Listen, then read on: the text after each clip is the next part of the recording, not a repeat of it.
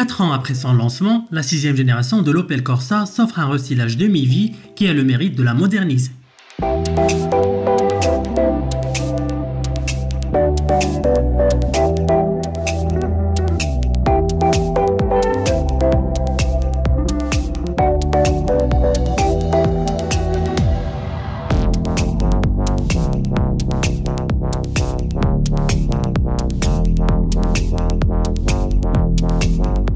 D'un point de vue design, la citadine Blitz s'est offerte, comme les autres modèles du line-up, le fameux Opel Visor, une face avant en noir qui s'étend sur toute la largeur de la calandre, en plus d'une nouvelle signature lumineuse et des phares à LED revisités.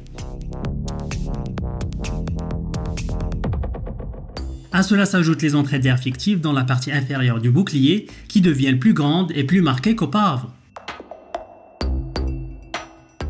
À l'arrière, deux petits changements notables. D'abord, le nom du modèle qui prend place désormais au centre du ayant, et puis les feux qui deviennent à l'aide sur toutes les finitions.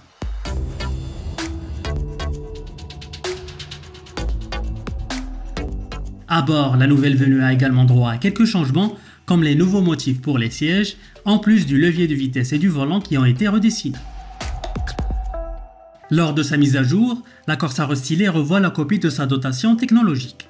Elle s'offre ainsi un nouveau système multimédia plus intuitif et faisant appel à l'intelligence artificielle, la reconnaissance vocale naturelle et Opel et aux mises à jour à distance. Notons également que pour la première fois sur la Corsa, la recharge du smartphone et la compatibilité avec Android Auto et Apple CarPlay se font désormais sans fil. Et côté aide à la conduite, la nouvelle venue intègre désormais une nouvelle caméra de recul panoramique haute résolution. Sous le capot, celle qui a ouvert la voie aux motorisations 100% électriques au sein de la gamme Opel profite de son restylage pour étoffer son offre. En plus de la version zéro émission de 136 chevaux de puissance à une autonomie allant jusqu'à 357 km, la citadine propose maintenant une motorisation de 156 chevaux avec jusqu'à 402 km d'autonomie. Notons ici que la recharge rapide de 20 à 80% se passe en 30 minutes seulement.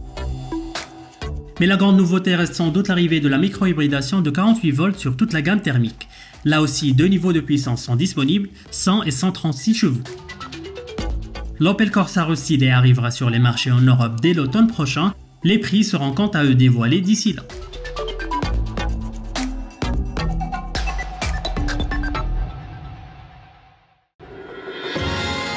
A très vite sur wandeloo.com.